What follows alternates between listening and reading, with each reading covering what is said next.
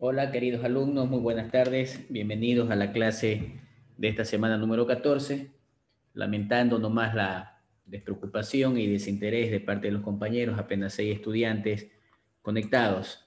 Pero bueno, eh, cuando estén ya en el momento profesional de ejercer la profesión, pues eh, se van a, a dar cuenta de todo lo que verdaderamente han dejado de aprender y de sobremanera esa irresponsabilidad que deja un sabor, un sabor amargo, deja un sabor amargo ante esa actitud eh, bastante este, fría y de sobremanera también de irrespeto hacia ustedes y hacia mí como profesor de la asignatura. Pues bien, pero bueno, vamos a seguir adelante y eso no debe ser motivo tampoco para que nosotros desistamos de nuestra, de nuestra cátedra, de nuestro interés por querer enseñar y lógicamente eh, al mismo tiempo, más que alegría, me daría como una especie de ventaja profesional en saber que lamentablemente el servicio profesional que viene creándose está con un nivel bastante bajo. Bien, vamos a ver ya entrar a la tercera fase, la tercera unidad, en sí lo que es la gestión de proyectos.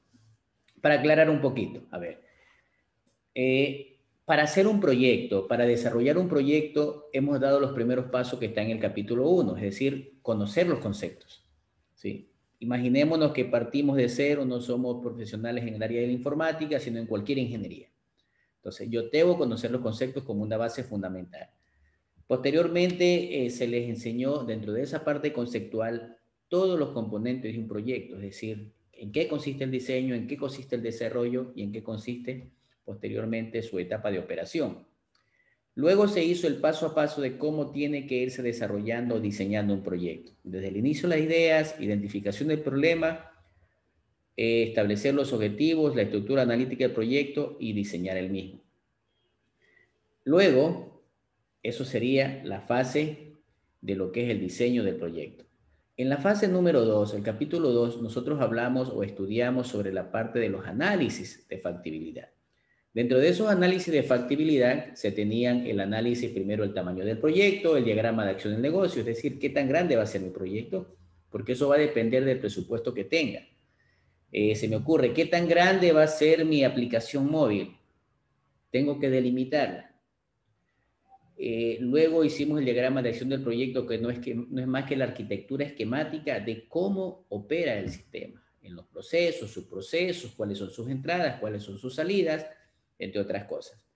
El análisis económico para establecer cuáles son los beneficios que se tienen para el cliente y para el que está prestando los servicios. La parte financiera del análisis financiero, en cambio, nos conllevaba a establecer o determinar si es viable arriesgar ese capital o no. El análisis ambiental y finalizamos con el análisis organizacional. Es decir, tengo que también hacer un FODA del lugar a donde voy a establecer el proyecto. Luego ya en esta parte nos adentramos, propiamente dicho, a la tercera fase o la gestión del proyecto, en la que yo digo, bueno, vamos ahora sí a empezar a implementar mi proyecto. Ya lo tengo diseñado, ya lo tengo diseñado. Entonces, yo tengo que ser un administrador del proyecto y para esto vamos a iniciar con la gestión. Una introducción a esa gestión que implica lo siguiente. Pues bien, esa implicancia a determinar la introducción a la gestión es que yo necesito tener claros los conceptos. Como profesional, yo tengo que hablar un lenguaje, tengo que aplicar un lenguaje, tengo que aplicar bases conceptuales, tengo que conocer herramientas al menos las más básicas, el Project, el Excel y el PowerPoint, y lógicamente en general los utilitarios del Office. Eh, lamentablemente no hay mucho tiempo, no solamente en las dos horas de clase, sino en nuestra formación profesional. Hay que entenderlo de manera rápida y sencilla. Ojo, entenderlo. No está diciendo apréndase de memoria. Tengo que conocer una noción, al menos cuál es el rol que ocupa el PEMBO dentro del proyecto. En la carpeta de la, biblioteca tienen ustedes este libro, la última versión. Y lógicamente, eh, ya lo indiqué, conocer, conocer las principales herramientas que me pueden servir de apoyo.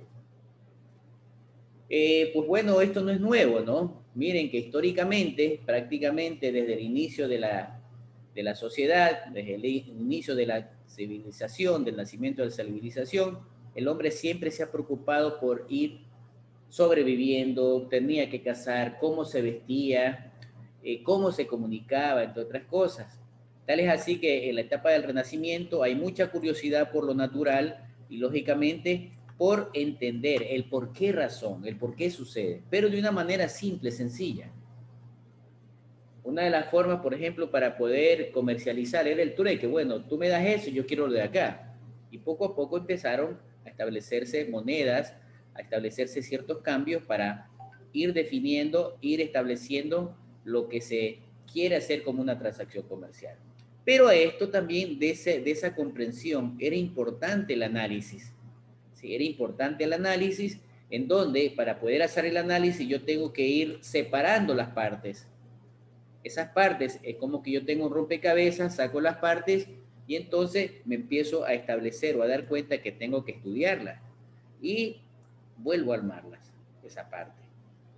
Esa ha sido la evolución histórica que hemos tenido a través de la gestión del proyecto. Eh, ¿Qué se quiere? Ya les he dicho que la definición de un proyecto es una solución inteligente, rápida, básica, esencial y más que todo aprovechar la revolución industrial y tecnológica.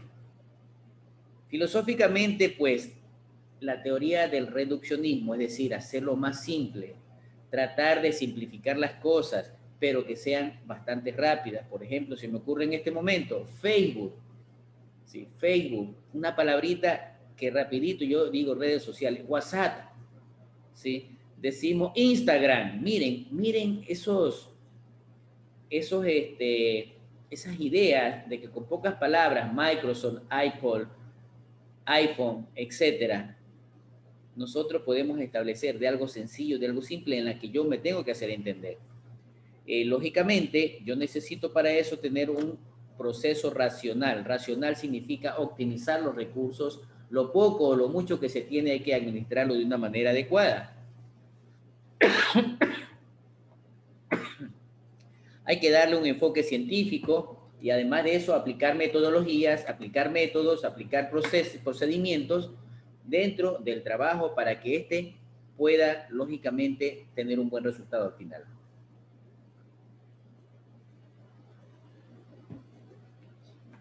En otras palabras, si nosotros nos acordamos desde la escuela, nos decían, vamos a desarrollar esta suma, esta resta, esta multiplicación, vamos a desarrollar este, esta ecuación de primer grado factorizando, vamos a desarrollar una ecuación de primer grado ahora a través del uso de las derivadas o de las integrales. Ustedes recordarán todas esas vivencias, ese recorrido que han tenido con sus maestros y qué es lo que le piden, de que se haga una resolución del problema, que se busque la respuesta. Es decir, empezar a ver que pese a las limitaciones tecnológicas, nosotros tengamos una idea del proyecto. Si empezar a tener esa idea, ¿cómo lo resuelvo? ¿Por dónde empiezo? ¿Cuáles son las mejores opciones? ¿Cuál es el mejor camino de solución? Para esto, nosotros tenemos que empezar a identificar ciertas concepciones de los proyectos. ¿Cómo identifico problemas? Bien, aquí tenemos unos cuantos. Una de primera ella dice es revisar las salidas contra los criterios de desempeño. Es decir, darme cuenta que dentro de mi proceso industrial, dentro de mi proceso de producción, dentro de mi proceso de facturación, dentro de mi proceso de conectividad, etcétera, revisar los errores, si hay errores o no los hay, revisar si el, si el proceso, si el sistema está trabajando lento, si se está trabajando de forma incorrecta, si no se lo está haciendo de forma completa o realmente no se realiza todo. En ese, aspecto, entonces yo veo los criterios de desempeño de cómo está funcionando mi proyecto informático. Segundo aspecto, observar el comportamiento de los usuarios, clientes internos y externos, en este caso los empleados. ¿Está asistiendo? ¿Se siente contento trabajando? ¿O simplemente Hoy día lo tenemos aquí, después de 15 días está en otra área. Eso se llama rotación de personal y probablemente hace que no se adapte a uno de los esquemas del proceso del trabajo. Tercer aspecto para identificar el problema, escuche, escuche las retroalimentaciones de todos, de los clientes internos y externos. Lea las quejas, revise las quejas, acepte la sugerencia de, de mejoras, verifique cómo están las ventas. ¿Se está perdiendo? ¿Hay menores ventas? ¿Qué está pasando? Miren que esto es integral. Es una de las formas en la que yo tengo que empezar a hacer un diagnóstico para establecer posteriormente mi diseño del proyecto que me está solicitando el cliente. También hay otros aspectos que tienen que considerar. Pues bien, establecer si la misión de la empresa está precisa o tienen que mantenerla, si se está actuando de manera regular en cuanto al funcionamiento normal y detallado, o si los objetivos están alcanzándose con actuaciones este, con incidencia en donde nosotros tenemos este, ciertas funciones detalladas, eh, demasiados procesos repetitivos que hacen que se pierda tiempo y se pierde dinero. El personal se desgasta mucho, este, empiezan a, a realizarse demasiados cambios, muchos riesgos, incógnitas que se presentan y que posteriormente en los ensayos empiezan a definirse este, precisiones o imprecisiones de pruebas parciales o pruebas totales. Cuando tenemos que empezar a definir los medios, los recursos, con qué vamos a realizar la situación, con qué vamos a realizar el proyecto, es importante establecer los presupuestos, es importante establecer el cronograma. No dejar de lado ninguna actividad, no olvidarse del primero o del último tornillo que se tenga. A nivel de la organización del proyecto tenemos que ver cómo estamos organizados, cuántos somos y a cómo nos toca. Si todo el personal cubre, abarca una responsabilidad de un área específica de especialidad. Por ejemplo, si hay tres desarrolladores y no tengo nada para soporte técnico, pues debo tener al menos un desarrollador, al menos uno de soporte técnico, un analista y alguna otra situación de base de datos, entre otra cosa. No tener personal repetido, eh, pues hay que establecer ciertos rangos de autoridades dentro de la gestión del proyecto. Ya nosotros vimos, ya hice una retroalimentación al inicio de lo que hemos venido estudiando y avanzando hasta este momento. Nosotros empezamos a formular los proyectos, definimos los objetivos, se hizo el estudio de, factibilidad a través de los análisis correspondientes, se hizo un informe final y sobre ese se toma decisiones de invertir o de o invertir. Hablábamos también al inicio de la presentación de que los procesos hay que desagregarlos, sí, hay que descomponerlos. Por ejemplo, aquí tenemos de un proyecto de, desarrollo de software en que lo descompone en la dirección del proyecto que abarca planificación, administración, es decir, una especie de líder, una especie de gerente del proyecto. Luego el segundo paso hace todo lo que es requerimientos, los requerimientos a todo nivel, posteriormente hace el diseño, desarrolla, implementación, pruebas y empieza a operar. Lo separa de esa manera. Dentro de esa estructura hay que aclarar y ser específico en cada uno de los procesos, no subdividir, no hilar tan fino. Esto nos puede conllevar a que el proyecto tenga mayor tiempo de, ejecución, que el proyecto tenga mayor costo. Es en ese momento cuando en algún instante algún cliente dice, bueno, yo requiero realizar un proyecto informático. Y aparecen tres alternativas. La primera alternativa conversa con el de sistema y le dice, mira, necesitamos hacer este proyecto. ¿Cuál es tu sugerencia? Verá, yo necesito que contrate a un proyectista y que se trabaje con el personal interno de la empresa. Bien.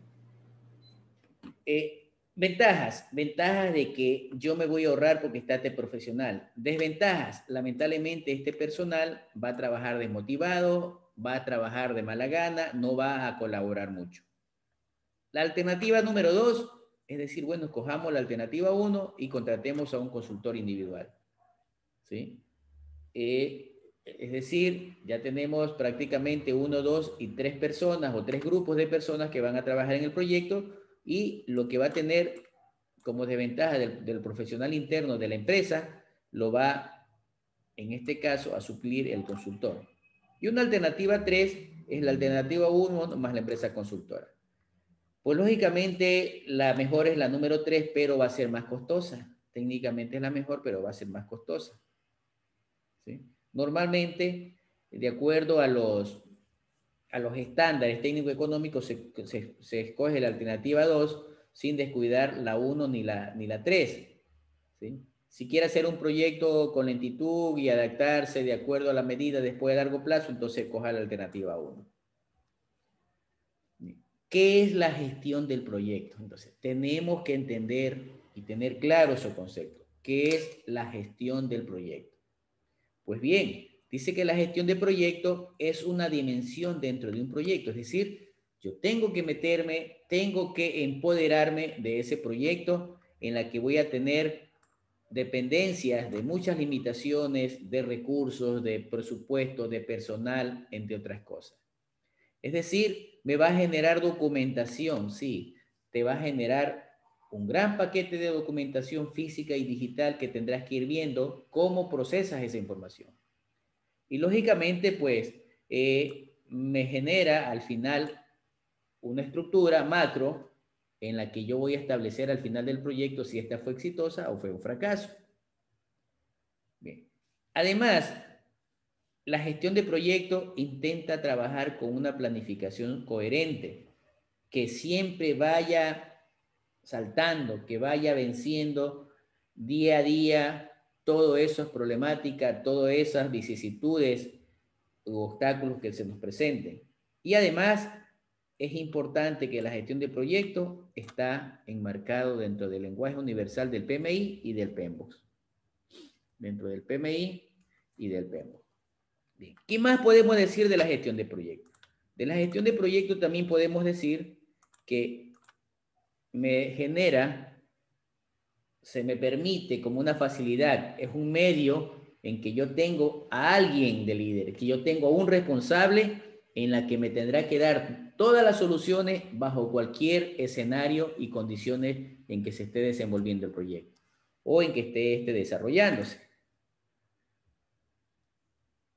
Bien. Es, es, eso efectivamente, la gestión de proyectos me genera conjunto de responsabilidades, tiempo, presupuestos. Este, necesito saber cuándo inicia, cuándo finaliza una actividad, cuándo se necesita comprar por ejemplo, el Internet, cuándo necesito hacer los enlaces, cuándo necesito este, realizar las configuraciones. Es decir, se empieza a vincular la gestión con el desempeño integral del proyecto y para ver cómo este está funcionando. Es decir, es una especie de, de tablero de mando en donde yo me voy a ir dando cuenta cómo va evolucionando, comparando lo diseñado versus lo que estoy ejecutando. Y aquí tenemos nosotros y aquí tenemos nosotros, en ese sentido, el ciclo del proyecto. Veamos, por ejemplo, para el ciclo del proyecto tenemos el primer paso. El primer paso dice, tengo que empezar a preparar y organizar la programación del desarrollo del proyecto. Aquí prácticamente yo necesito mi diseño, es decir, los términos de referencia, especificaciones técnicas, cronogramas y presupuestos. Los reviso, los actualizo, hago la contratación, de proveedores, de empleados o de lo que se requiera. En la parte 2, que es el ciclo número de control de la ejecución, ya se empieza a ejecutar el proyecto. ¿Qué significa empezar a ejecutar el proyecto? Que yo tengo que ir calcando lo que me dicen los términos de referencia, pero no descuidarme de la C4, es decir, observar que tengo que construir de acorde en este caso, a, las especificaciones técnicas, a la marca, a los requerimientos, entre otras cosas. Y llegamos a una fase 3 en que el proyecto se termina, ya se entregó, empieza a operar. El término del proyecto tengo que determinar la evaluación de los logros y hacer informes finales en la que se establezcan todos y cada uno de estos elementos. Esa es la C4 de la que hacía énfasis en la lámina anterior. Cualquier duda, por favor, este, pueden ir haciéndola a través del chat y vamos este, resolviendo sus inquietudes. Bien. Y vamos resolviendo sus inquietudes. A nivel mundial existe un sinnúmero de instituciones, un sinnúmero de asociaciones que están relacionadas, que están ligadas al estudio de los proyectos, desde América hasta Europa. Es decir, es reconocida y es un ámbito que abarca a más de medio millón de seguidores en el mundo. Bien. La gestión de proyecto me implica integrar los procesos, es decir, tengo que integrar todo, proceso de contratación, procesos de diseño, proceso de desarrollo. Me permite establecer la delimitación del proyecto, el presupuesto, el cronograma y lógicamente cuál va a ser la calidad. Aclaro, esa palabra bonita de calidad se refiere a las especificaciones técnicas. Si me dicen que el computador es blanco, marca Sony, debe ser blanco, marca Sony. No puedo llevarle un computador Sony color negro. Si me dicen que el computador es de escritorio, tengo que llevar un computador de escritorio. Eso es calidad. Y además, que esos productos no tengan defectos, no tengan fallas. ¿Qué más tenemos en la gestión de proyectos? Yo necesito saber con quién voy a trabajar, a quién requiero, cómo vamos a comunicarnos. Ya les he venido diciendo en algunos momentos, es importante empezar a clarificar, es importante empezar a clarificar que ya tengamos, en este caso, este, eh, que generar las comunicaciones de manera formal. Si tengo que hacer a través del WhatsApp, pues hagámoslo a través del WhatsApp. ¿sí? Eh, por ejemplo, yo estoy ahorita emprendiendo un proyecto y una de las cosas que yo digo, estimado proveedor, favor solicito atender los siguientes requerimientos. Necesito esto, esto, esto y otro. Agradeceré mucho su atención. Saludos cordiales. Bien. Esa es la comunicación. Tengo que ya ir previendo cuáles son los riesgos del proyecto. No esperar que pasen para ver qué hago. ¿Y ahora qué hago?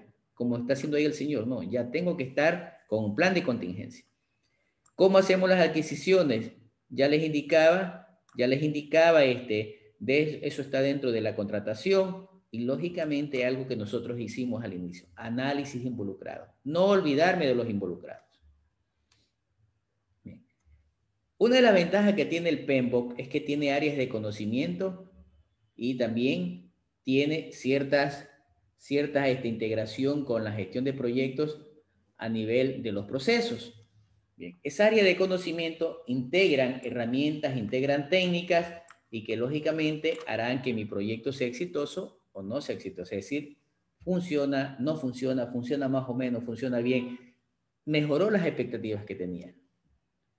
Podemos observar en esta gráfica los grupos de proceso a través del tiempo cuando interactúan. ¿sí? Dice que al inicio, miren, llega casi hasta un tercio, llega casi hasta un tercio, la línea en amarilla, los procesos de inicio. ¿sí? La planificación prácticamente es durante todo el proceso, durante todo el proceso de la planificación. La ejecución es prácticamente durante todo el proceso. Los, los procesos de control, seguimiento, es durante todo el proceso. Y tenemos el proceso de cierre, empieza prácticamente el proceso de cierre cuando finaliza el proceso de inicio cuando finaliza el proceso de inicio. Es importante saber interpretar y saber darnos cuenta cuando sí y cuando no. Y pongan en autoevaluación o autorreflexión. ¿Yo hago eso? ¿Lo hago no lo hago? Entre otras cosas. Aquí les decía, los grupos de procesos, los grupos de procesos, este, cómo se interactúan, cómo se traslapan con las áreas de conocimiento. Aquí tengo los grupos de proceso, inicio, planeación, ejecución, monitoreo, control y cierre. ¿Sí? Las áreas de conocimiento, en cambio yo ahí tengo gestión de interesados, hago, me abarca prácticamente hasta el monitoreo y control. La gestión de adquisiciones, riesgo, comunicaciones y recursos y calidad, prácticamente la hago este, desde la planeación hasta el monitoreo y control. Y la gestión de integración prácticamente la hago permanentemente en todo el proyecto. Por eso les decía, es importante saber interpretar estas, estas láminas. Bien, algo que me he olvidado de comentarles, yo les recomiendo que traten de certificarse en PMO. ¿sí? El PMO no es más que un rol de analista que puede ser ingeniero civil, ingeniero de sistema, ingeniero eléctrico, entre otras cosas, y siempre en las empresas dicen, necesito un profesional que sea PMO. ¿Qué es un PMO? Es un gerente de proyecto. ¿Qué hace el gerente del proyecto? Lógicamente no hace algo tan agradable. ¿Por qué digo no hace algo tan agradable? porque va a ser la persona responsable de un proyecto en la que esta persona tiene que saber coordinar los proyectos, el proyecto con todo el personal, deberá cumplir, controlar que todo se cumpla según lo contratado, deberá realizar auditorías, deberá realizar asesorías, deberá administrar el soporte, la planificación. En otras palabras, es un todoterreno. Es un todoterreno. Pero dentro de las cosas bonitas de lo feo que tiene un PMO, es que tiene altas probabilidades de estabilidad laboral y con buen sueldo.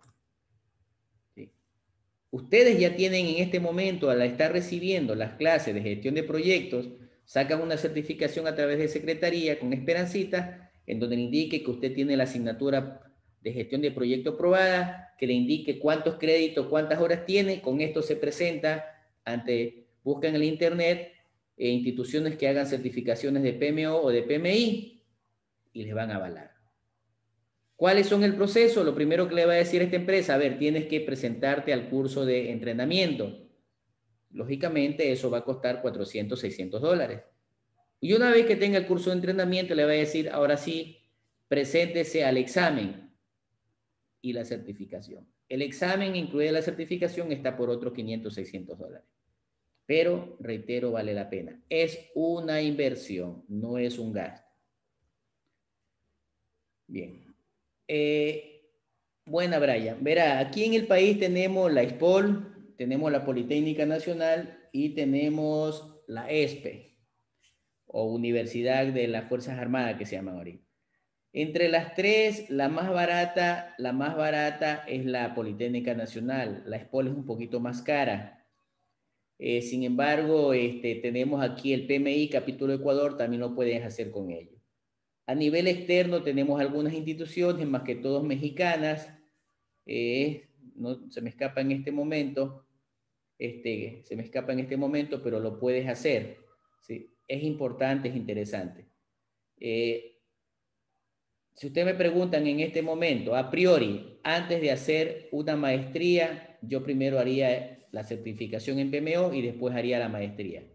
¿sí? Incluso en ciertas empresas o en la mayoría de empresas que valoran este tipo de, de funcionarios, les va a interesar que mejor tengas una certificación antes que una maestría. Porque una maestría es escolarizada. Es decir, simplemente, ah, sí conoce, sí sabe, sí tiene un título de cuarto nivel pero no tiene los mismos estándares de conocimiento que un PMO. Miren, ahí vuelvo la lámina a retroceder, todo lo que hace un PMO. Es un maestro orquesta, es un todoterreno, es un todólogo, ¿sí? Que si, no importa que el proyecto es de informática, pero tiene que saber todo esto. Y lógicamente tiene que hacer informes, estos son los informes, ¿no? Estos son los informes, tiene que hacer reportes, tiene que alcanzar los objetivos, tiene que darse cuenta dónde sí, dónde no, revisar y ver que hay alertas. Y todo eso sí, todo es presión, porque te piden las cosas para ayer. Lógicamente, para eso nos preparamos, para dar solución al cliente. ¿Qué otra cosa podemos ver de los proyectos? Cuando estamos como director de proyecto, como PMO, tenemos que saber que los riesgos están presentes. Los riesgos son como los ladrones. Aparecen cuando menos lo esperamos, pero sabemos que hay posibilidades de que ocurra. Entonces, en esos errores mostrados, yo tengo que darme cuenta si es que está en modo ajustado, es decir, ah, ya, ya, parece que va a suceder tal cosa. Empiece a tomar los correctivos. Marcha mortal, sucedió, nadie se dio cuenta y hay que corregir. Y fuera de control, ya no se puede hacer nada no hay cómo solucionar ese problema. Hay que cambiar de equipo, se quemó el computador, se quemó el disco duro, entre otras cosas. Bien. Eh, en cuanto a lo mismo del tema de la gestión de proyectos, ¿cuál es su razón de ser? Está clarito, hacer frente a los problemas y retos. Es feo porque tienes presión, yo lo he vivido, tienes presión. Sientes que el cuerpo se te desvanece porque se te escapa de las manos, sientes que quiere tirar la toalla. Decir, no, esto se queda ahí, pero al mismo tiempo reacciona, la poquita fuerza física que tienes te dicen, no, tu subconsciente te dice, hazle frente, no puedes tirar abajo tu imagen profesional. ¿Sí? Pero una vez que ya pasas eso, te das cuenta que te costó lágrimas, sacrificio, ganas de, irte lejos y renunciar, pero te vas a dar cuenta que al final del camino, al final del túnel alcanzaste la meta. ¿Sí? Alcanzaste la meta. Entonces, es importante hacer frente a los problemas. Por eso, no hay que perder la fe si lo hablamos espiritualmente, profesionalmente. Siempre hay que ser optimista y saber que tengo, debo tener planes, planes de contingencia que sean predictivos y que me permitan recuperar y retomar el proyecto para que éste no fracase. Entonces, es así. Pero también la satisfacción de esto es que te empiezas a ranquear profesionalmente. Es decir, tu estatus profesional se te eleva y saben lo que te van a contratar que tú ganas muy bien. A nivel de consultorías, a nivel de instituciones fuera de Manta y fuera del país, valoran este tipo de profesionales. ¿Por qué? Porque se necesita a través del control, a través, no, no hablo de control de calidad, no hablo de que lo que se dañó hay que arreglarlo, sino que ver el control de que las cosas se hagan bien para que el producto final sea bueno. Es decir, tienes que asegurar la calidad. ¿sí? Necesitamos que ese producto con buena calidad tenga funcionalidad y cumpla con las especificaciones pedidas. Entonces yo necesito controlar que la planificación sea la más adecuada, la más coherente, lo mismo que el presupuesto. Lógicamente, yo tengo que basarme en ese estatus, en ese, en ese marco de presupuesto-tiempo, en la que sabemos que hay presentes los riesgos y que también se desarrollen actividades. Eso hace el control de proyecto. Entonces, yo tengo que ver cómo hago los cambios al andar sin paralizar el proyecto. ¿Qué tenemos que destacar ya para finalizar esta parte de la gestión de proyectos? En que prácticamente se ha venido dando a través del tiempo. Este, no hay, no hay, este, no podemos decir en que nunca se aplicó los procesos, en que nunca se aplicó a través del tiempo todo esto. Si todo lo que tenemos tecnológicamente, todo lo que tenemos, incluso esa cámara, ese dispositivo que están utilizando en este momento, esa prenda de vestir que tienen en este momento, ese cuaderno a la que están probablemente tomando apuntes, alguien lo diseñó, alguien lo desarrolló, alguien lo construyó. Entonces, anímense, vean en el PMI, capítulo Ecuador, hay bastante información en Internet, vean todas las herramientas que ustedes puedan necesitar y utilizar para poder establecer lo que verdaderamente es la gestión del proyecto. Reitero, la gestión de proyecto implica documentar, implica ser un todoterreno, implica saber gestionar personal, saber contratar al buen, al mejor precio. Y lamentablemente una de las cosas que sí nos pasa factura es la presión. La presión te lleva a un estrés, te lleva a un cansancio físico, mental, y que después de todo ese estrés, ese ajetreo, pues no queda más que irse a comer una buena comida, la que más nos apetezca, una buena cerveza, un buen vino. Queridos alumnos, eso es en cuanto a la introducción de la gestión de proyectos.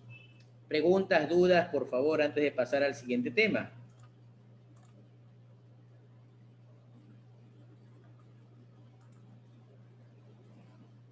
Preguntas, queridos jóvenes.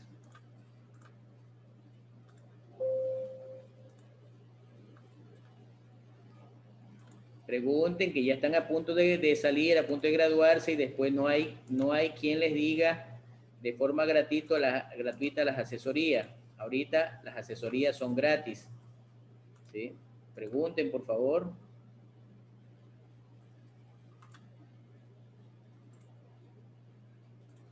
Bien, veo que no hay preguntas.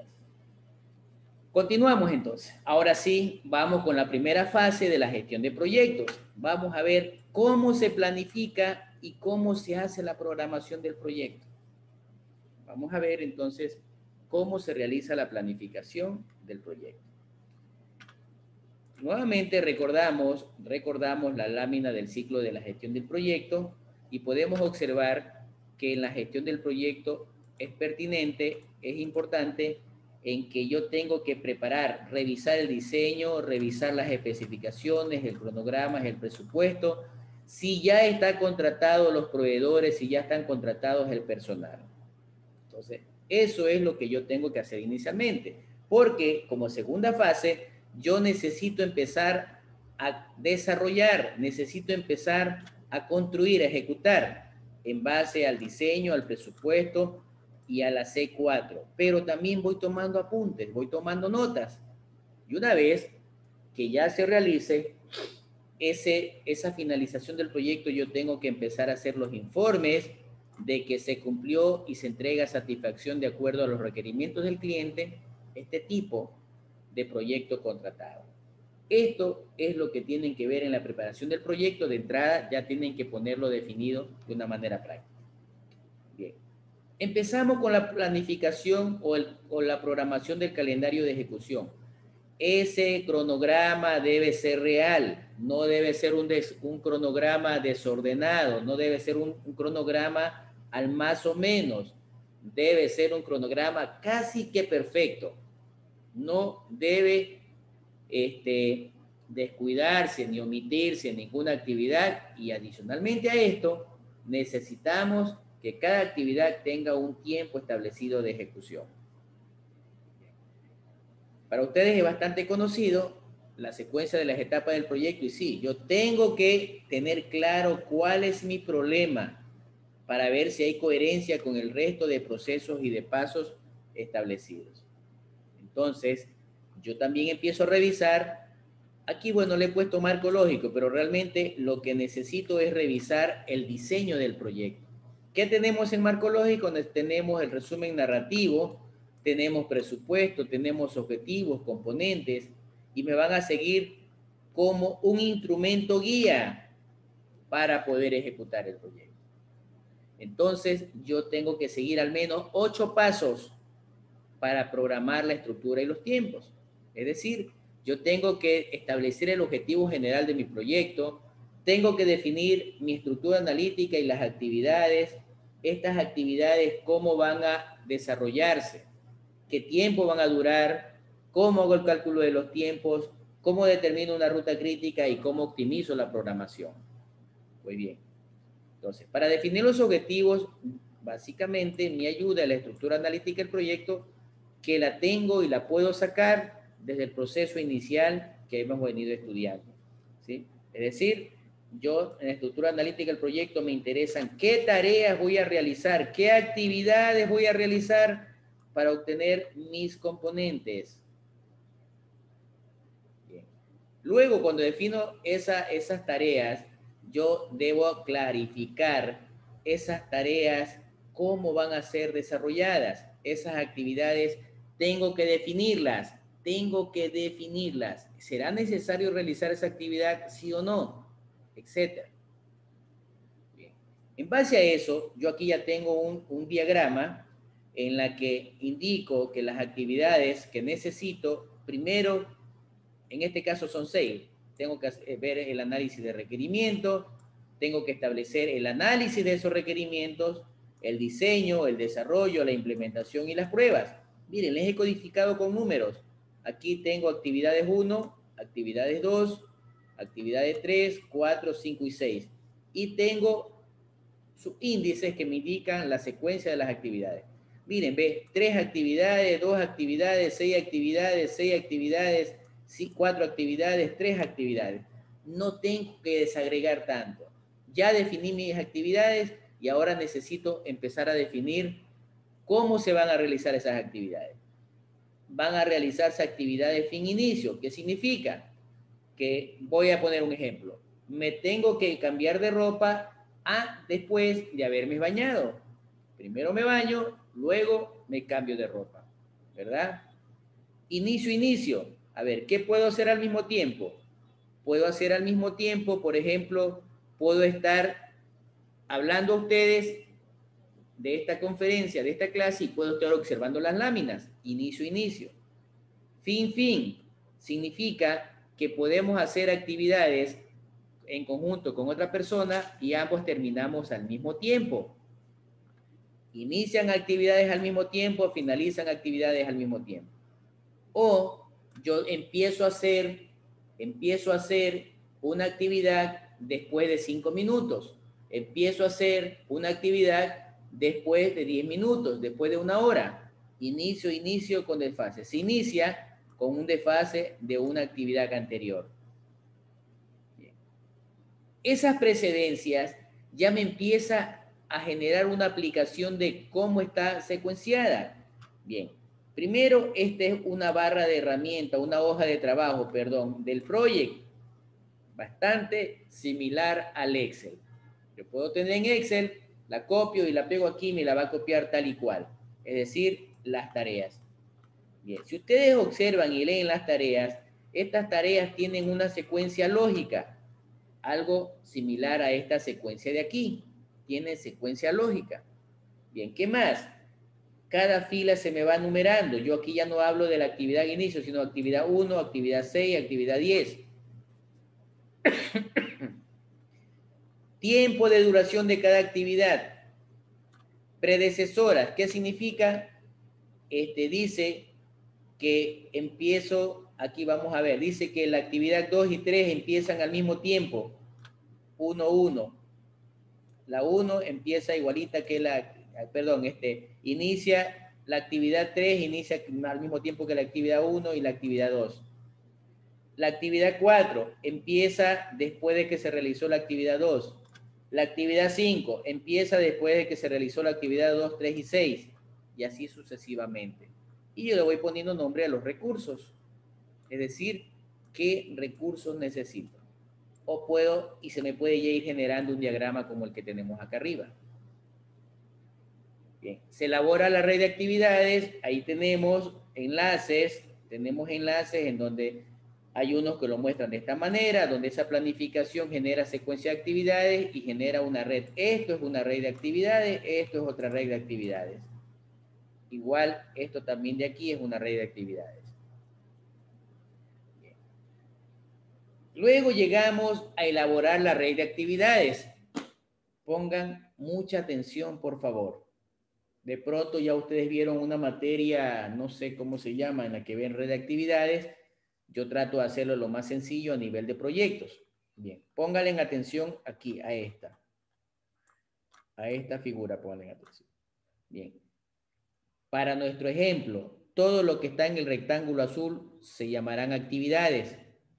Y todas las actividades tienen un verbo infinitivo. Capacitar, realizar, elaborar, adquirir, adecuar, plantar, etc. Bien. Y tiene unos códigos arriba, letras negras, y tiene unos códigos abajo, letras negras y rojas. Bien. Esta se llama primera fecha de inicio el valor que está en la esquina superior izquierda del rectángulo primera fecha de inicio y el que está en la esquina superior derecha primera fecha de término. Bien. ¿Cómo se me genera la D? La D es la duración de la actividad. Primera fecha de término menos primera fecha de inicio me da la, la D, la duración. Lo que tenemos en la esquina superior inferior, perdón, izquierda, última fecha de inicio y la que está en la esquina inferior derecha, última fecha de término. Eso debemos tenerlo claro. Por ejemplo, inicia el día cero, primera fecha de inicio, última fecha. Empieza el día cero, termina el día 10. 10 menos 0, 10. 18 menos 10, 8. 42 menos 18, 24. ¿Está claro hasta allí? Hola. Sí. Ya, ¿puedo continuar? Sí, profesor. Gracias. Bien. Entonces, con eso practicamos y entendimos la nomenclatura del cuadro. Bien. Segunda situación, gráficamente nos damos cuenta que todas estas están alineadas al inicio, igualitas. ¿Sí observan? Realizar, adquirir, adquirir dotación, adquirir equipo, controlar mano de obra, adquirir materiales, conseguir planta, están alineadas físicamente igualitas. Bien. Observamos la primera fecha de inicio. Realizar promoción empieza el día 10, adquirir el día 10, adquirir el día 10, contratar el día 10, el día 10, el día 10. Significa que todas van a empezar al mismo tiempo. ¿Están de acuerdo? Por favor, señores, por favor, por favor. ¿Sí? O están nomás conectados allí. Voy a tener que activar la cámara o así me tire el mundo encima. Voy a tener que obligar a que activen las cámaras. Bien. Eh, como este es un nodo, este de aquí es un nodo con todo esto, por esa razón tiene, es decir, el último día de término de, esta actividad para hacer el primer día de inicio de las siguientes actividades. Eh, ¿Qué tenemos de novedades? De que la actividad, la actividad, voy a llamarle 1, me termina el día 18, la actividad 2 me termina el día 25, la 3 el día 16, 13, 14 y 13. Es decir, van a terminar en tiempos diferentes.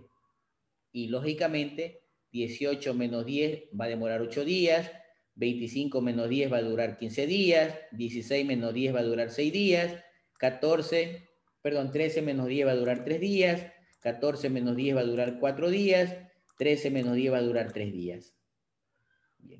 Y continúan así sucesivamente el resto de actividades. Otra cosa adicional, observen que yo tengo líneas punteadas en color negro. Eso significa que son actividades del componente 1. Tengo líneas punteadas de color azul, componente 2, líneas punteadas de color rojo, componente 3, y línea punteada de color amarillo, componente 4. Bien. Espero que vayamos siendo bastante claros en la en la este, explicación. ¿Qué más? Voy a irme ya directamente a esta última actividad de este componente. Dice que empieza el día 44, termina el día 48. ¿Cuándo dura esa actividad? Cuatro días. Bien, entonces, la primera fecha de término de la última actividad me va a determinar el tiempo total de duración del proyecto. A ver, vamos viendo aquí. Vamos viendo. Gema Vélez. Gema, ¿está por ahí, Gemita? Sí, ingeniero. A ver, repítame lo que dije. ¿Cómo identifico el tiempo de duración del proyecto? ¿Cómo me doy cuenta gráficamente? Por la fecha de iniciativa en la que se vaya a realizar. A ver, ¿quién le ayuda? A ver, ¿quién le quiere ayudar?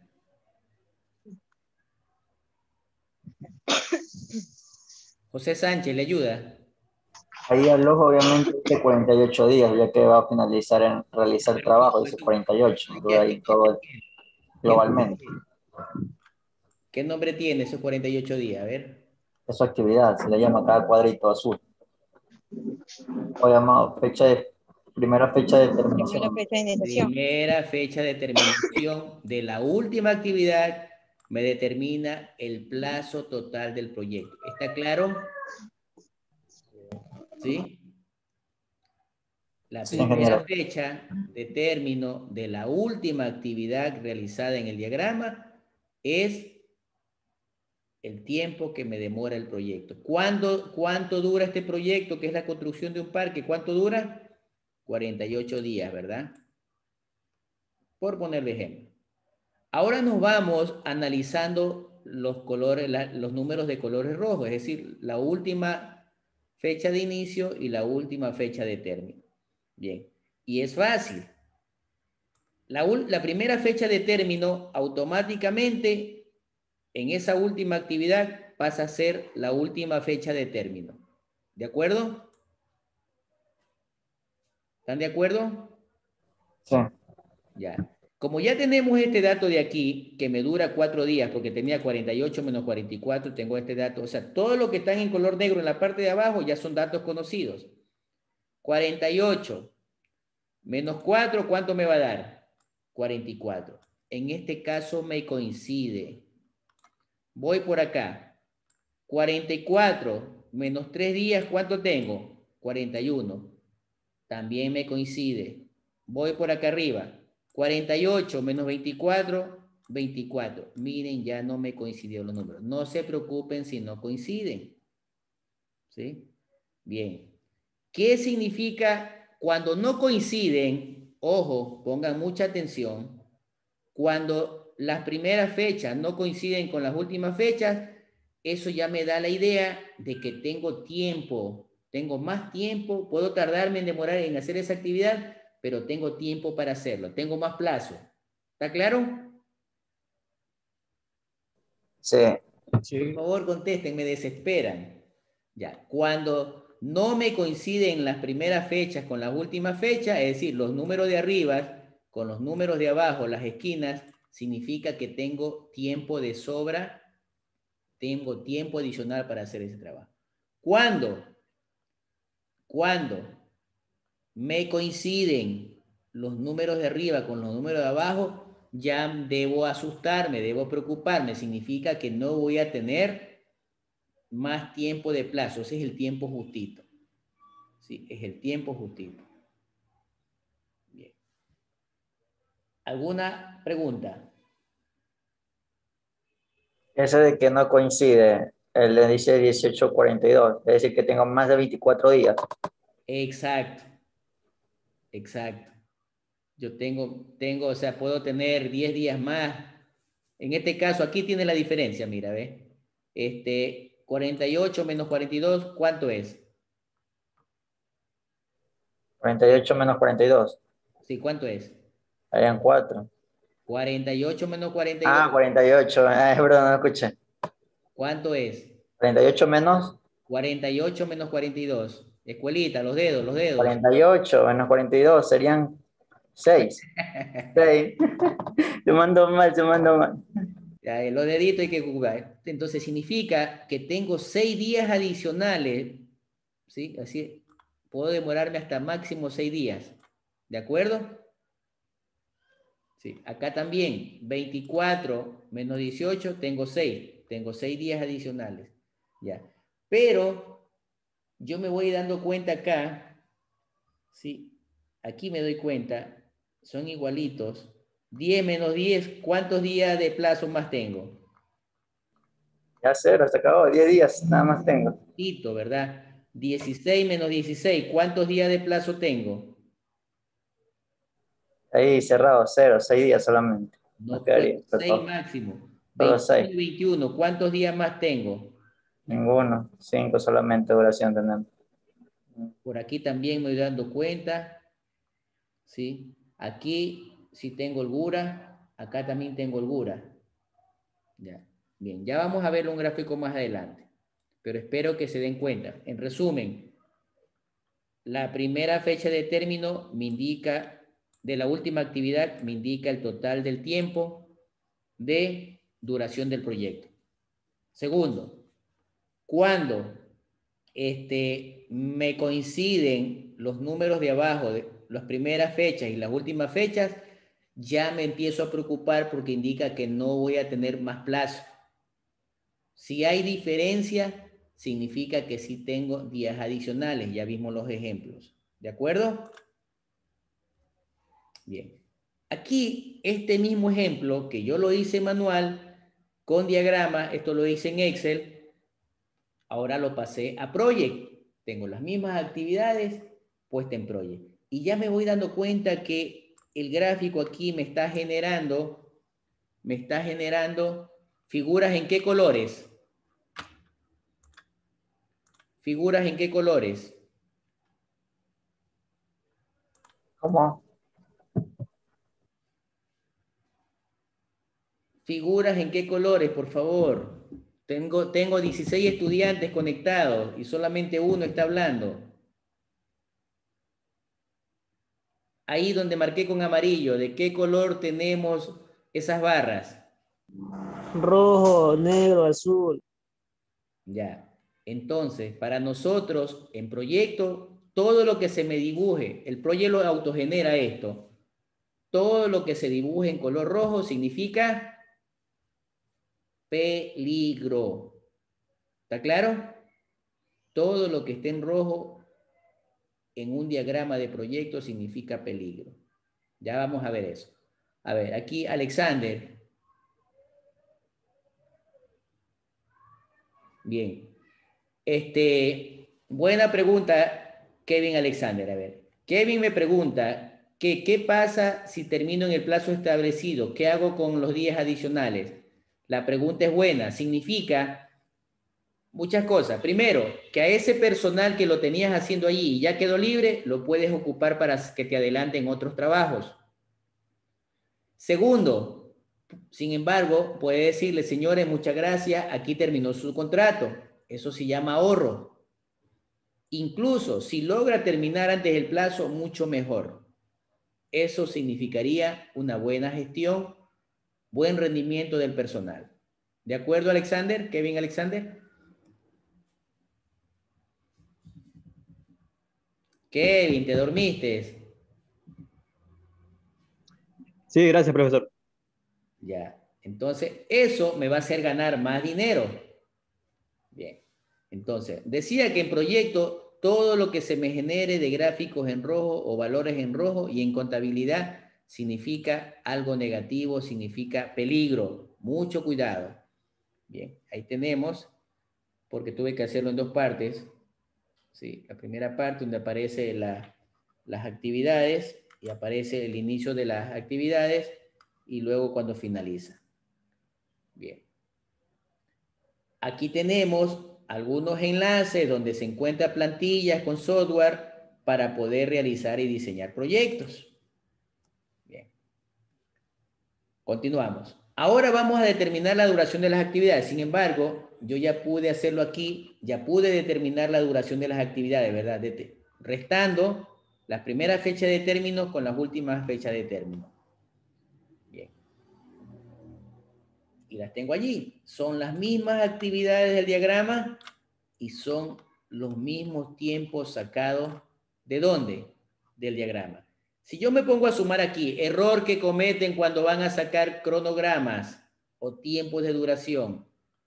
Ah, dice, tienen las actividades y los tiempos. 10 más 15, 25, más 6, 31, 35, 38, 41, 46, 66, 74, 77, 82, 90, 114, 118 días me suma eso, ¿verdad? ¿Y cuánto realmente es la duración del proyecto?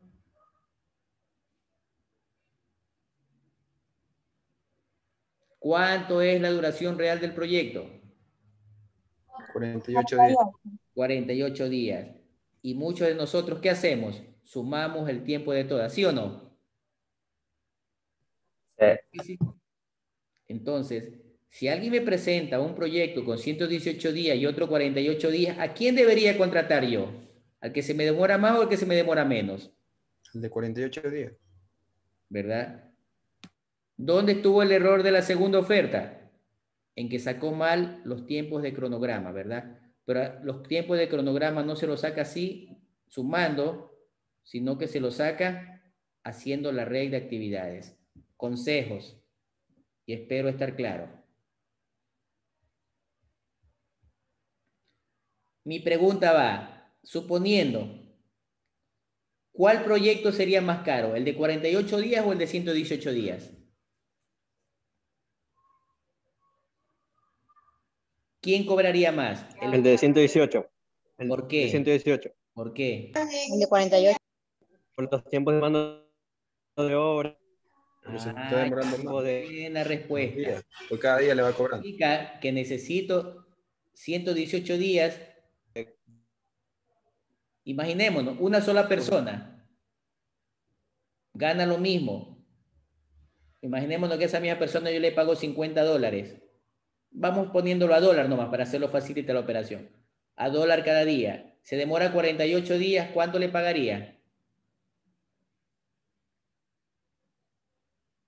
Una persona que gana un dólar, trabaja 48 días. Yo quiero escuchar en, en casi que al eco. ¿Cuánto me costará a esa persona ese proyecto? 48. 48. Si esa misma persona la contrato y me va a trabajar 118 días, ¿cuánto me va a costar ese proyecto? 118. Entonces, va a ser más caro cuando el proyecto también me ponga más tiempo. ¿Está claro? Bien. Vamos Sí. a ver ahora cómo tengo que empezar a analizar las actividades. ¿Sí? Esto no es cuestión de decir, ponle tal vez más o menos. No, hay que estimar, queridos alumnos. Para eso nosotros tenemos, ya desagregamos en la estructura analítica del proyecto, sabemos ya cómo van a estar nuestras actividades.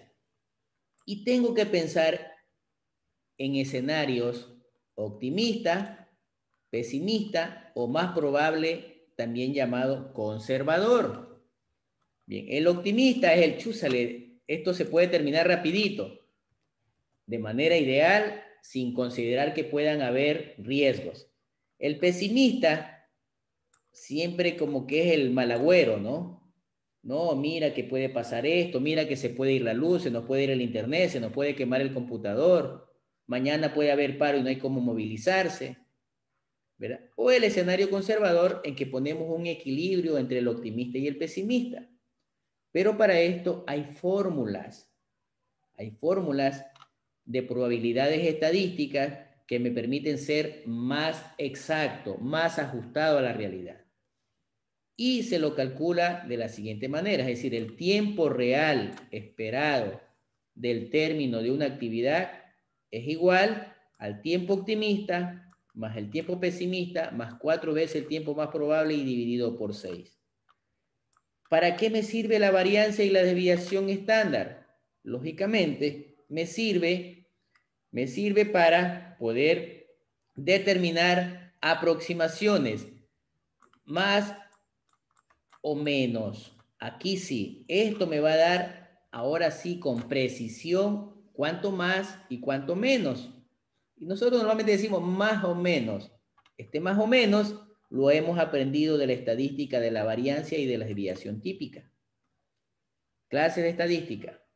Bien, ejemplo. Imaginémonos que vamos a realizar unas actividades, la duración, y alguien dice, no, eso lo podemos hacer en cinco semanas. No, yo creo que no podemos demorar 12, pero alguien dice, probablemente lo podríamos terminar en 10. Entonces, haciendo el cálculo, dice que la respuesta es que se lo va a terminar, este, en este caso, el tiempo esperado en nueve semanas y media.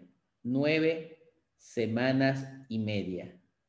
No fue ni cinco, no fue ni doce, no fue ni diez. Fueron nueve semanas y media. No es el promedio. Bien. ¿Qué me significa aquí, en este caso, el 1.17 de la desviación estándar? Significa que yo puedo sumarle o puedo restarle. Es decir, van a ser más de 10 semanas, serían 10.67 o pueden ser, en este caso, 8 semanas. Es decir, va a estar entre 8 y más de 10 semanas, en ese rango. No debe demorarse más de eso. ¿Por qué razón? Porque para esto yo tengo los umbrales de imprevistos en presupuestos. Si ya me paso de 11, si ya me paso de 11, voy a salir por el presupuesto. Si ya lo hago en menos días, en vez de salirme del presupuesto, eso va a ser ahorro. Más de 10 gastos extras, menos de 8 ahorros y ese ahorro se va a transformar en ganancia. La pregunta de, de Kevin, interesante. Aquí está Kevin la respuesta también numéricamente. Si te demoras igual del umbral más bajo o menos tiempo, ganancias. Si te pasas del umbral superior, pérdidas. ¿A quién le gustaría perder en un proyecto? Díganme, ¿a quién le gustaría perder? A nadie. A nadie. Los trabajos son para ganar, no para perder. Bien. Volvemos ahora a tener nuestra famosa red de actividades. Nuestra famosa red de actividades. Ya no la tengo rayada, ya está mucho más clara. Me refiero ya con la explicación que se dijo, ¿verdad? Ya tengo mi red de actividades.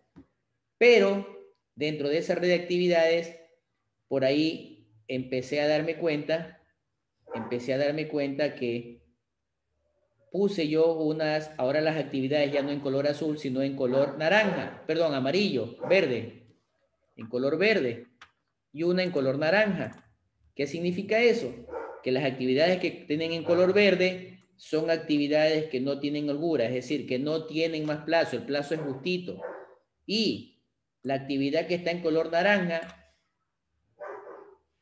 prácticamente es la que va a hacer que esas actividades sin, sin holgura estén a tiempo o se retrasen. Si me demoro en comprar la dotación, entonces esto se me viene al traste. Ya no me voy a demorar 48 días, sino más. Entonces, miren, yo tengo que también identificar en esta, en esta, en esta, en esta situación cuál es la actividad clave para que no se demore. ¿Sí? ¿Cuál es la actividad clave? Si me demoro adquiriendo la dotación, se demora todo. Si no me demoro, tal cual lo programado, o podríamos terminar antes. aquí igual. ¿Y qué me genera eso? ¿Cómo se llama esa actividad sin holgura? Toma el nombre de ruta crítica en los proyectos, la ruta crítica dice que me determina la duración del proyecto, dice que es la cadena de mayor duración, no tienen holgura y cualquier retraso puede hacer fracasar el proyecto. Como dicen en Master Check, ¿entendido check? ¿Verdad? Vamos a ver ahora con los recursos y costos yo necesito saber programar mis costos. Ah, no solamente tengo que saber programar mi tarea, no solamente tengo que saber programar lo que voy haciendo, tengo que saber programar los costos, asignar los costos de acuerdo a como yo los tengo. Los de los recursos, los de costos fijos, los costos totales, cómo nivelo y cómo optimizo los recursos del proyecto. Veamos sus detalles. Para empezar, el PMI o el Project le llama recurso a un factor productivo necesario para realizar una actividad. No se consume con su uso ni se incorpora al producto resultante de la actividad. Al término de la actividad queda disponible para ser asignado. Ejemplo, mano de obra. Una persona que terminó un trabajo está disponible para otra cosa. Equipos y herramientas ya están desocupadas, puede alguien más utilizar. No son recursos, materiales. Cogí la pintura, se terminó la pintura, ya no quedó nada. Lo mismo el combustible o los servicios. Esperemos haber aclarado también esa parte. Bien. Hay muchas maneras de sacar y asignar personal. Esto es un trabajo de hormiga, pero hay que hacerlo. Si usted quiere tener un proyecto con costos reales y un proyecto con ganancias reales, hay que hacer todo este trabajito. Bien. Hay muchas maneras de hacerlo, reitero. Tenemos las actividades. Pongo aquí los tipos de personal que necesito y tipo de herramientas que necesito. Y en cada actividad voy poniendo cuántas de ese personal necesito. Cuánto de cada personal y cuánto de cada equipo necesito. Siguiente paso tengo que empezar a definir, tengo que empezar a definir, tengo que empezar a definir este, todos los costos de las actividades y los costos generales del proyecto. Bien, aquí tengo una estructura. Reitero, hay muchas maneras de hacerlo. ¿sí? Por cada actividad qué personal necesito. Ahí está prácticamente las directrices. Luego al final sumo todas esas actividades y me genera el total del costo del proyecto. Y se me genera el costo total del proyecto. Bien. Ejemplos. Dice que una actividad demora 60 días, va a utilizar un recurso 1 que cobra 30 dólares al día, 3 recursos 2 que cobran 20 dólares al día, dos equipos que cuestan 50 dólares al día y se me van 30 mil dólares en materiales. Esa actividad dice que entonces tiene un recurso 1, este, tres recursos 2 y dos maquinarias. Dice que 30 días, 20, 20, el día, 30, perdón, el día, 20 el día y 50, 1 por 3, 30, 3 por 20, 60, 2 por 50, 100, total 190. Aquí están los valores de cada día, 190. Dice que dura 60 días. 60 días trabajando esa persona, me salen 11.400, multiplico, ¿no? Dice que en materiales se me van 30, 30.000, total 31.000 más 11.400, ese es el total del proyecto. Una de las formas de sacar. Lógicamente, estoy haciendo con una sola actividad, ¿no? Hay que hacer de todas las actividades y esto se lo hace en una hoja de Excel normalmente. Bien, ejemplos de programación de costos. Ya eso vamos a ver en algún momento antes de finalizar el semestre. Hágame acuerdo a la otra clase mejor, por favor. Aquí tengo otra, en cambio. Perdón. Dice que una actividad tiene un valor de 240 mil dólares y dura 90 días. Dice, una actividad, 90 días, 240 mil. Aquí ya no multiplico, es fijo. Me está diciendo, clarito. 90 días me trabaja y te pago 240 mil dólares. Bien. Otro ejemplo. Dice que a esa misma actividad de 240 mil dólares, 90 días, se contrata un consultor.